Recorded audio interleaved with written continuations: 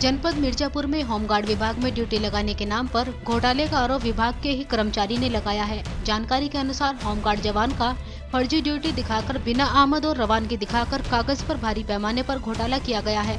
इसकी जाँच किसी मजिस्ट्रेट से कराने की मांग की गई है।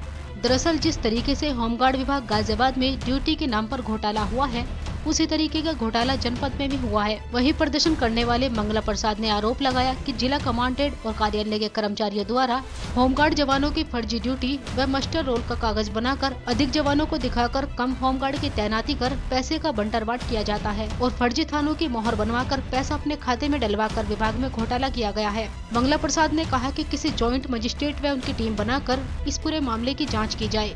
वहीं जिला सहायक कमांडेंट जयप्रकाश यादव ने ड्यूटी में किसी भी अनियमितता से इनकार किया है। उनका कहना है कि होमगार्ड की ड्यूटी लगाने में कोई अनियमितता नहीं है। जनपद में इस समय 1336 होमगार्ड हैं, जिनमें से 1021 ड्यूटी करते हैं जिनमें से 1632 होमगार्ड के पद पर स्वीकृत हैं। ये भ्रष्टाचार को उजागर करने के लिए एप्लीकेशन दिए हैं। डाक के माध्यम से अपने सभी उच्च अधिकारियों को अवगत करा दिए हैं। जैसे नोएडा और वहाँ मेरठ में हुआ है भ्रष्टाचार हाँ। मास्टर रोल में और जो फर्जी तरीके से पैसा निकाला गया उसी संबंध में आए हैं। किस विभाग का मामला होमगार्ड विभाग होमगार्ड विभाग मिर्जापुर। कैसे निकालते थे? कैसे कैसे निकाल रहे हैं जैसे मास्टर रोल में दस आदमी का ड्यूटी लगाए हैं पच्चीस आदमी का पैसा निकाला जा रहा है। हाँ। हमारा पैसा दूसरे खाते में डाल दिया जाए दूसरे का पैसा तीसरे खाते में डाला जा रहा है। इस हाँ। तरीके का भ्रष्टाचार किया जा रहा है।